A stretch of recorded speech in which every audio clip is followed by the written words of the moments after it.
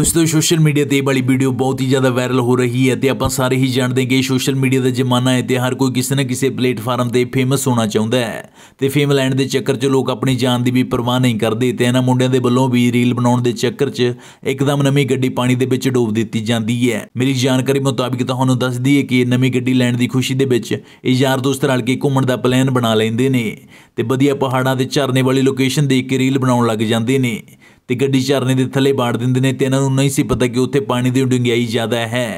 ਤੇ ਜਦੋਂ ਇਹਨਾਂ ਦੇ ਬਲੋ ਰੀਲ ਬਣਾਉਣ ਦੇ ਚੱਕਰ 'ਚ ਗੱਡੀ ਚਰਨੇ ਦੇ ਥੱਲੇ ਬਾੜ ਦਿੱਤੀ ਜਾਂਦੀ ਹੈ ਤੇ ਪਾਣੀ ਜ਼ਿਆਦਾ ਹੋਣ ਕਰਕੇ ਗੱਡੀ ਪੂਰੀ ਦੀ ਪੂਰੀ ਪਾਣੀ ਦੇ ਵਿੱਚ ਡੁੱਬ ਜਾਂਦੀ ਹੈ ਜਿਸ ਤੋਂ ਬਾਅਦ ਬੜੀ ਮੁਸ਼ਕਿਲ ਦੇ ਨਾਲ ਗੱਡੀ ਨੂੰ ਪਾਣੀ 'ਚੋਂ ਬਾਹਰ ਕੱਢਿਆ ਜਾਂਦਾ ਹੈ ਤੇ ਜਿਸ ਤੋਂ ਬਾਅਦ ਹਰ ਕੋਈ ਇਹਨਾਂ ਨੌਜਵਾਨਾਂ ਨੂੰ ਲਾਂਦਾ ਪਾ ਰਿਹਾ ਹੈ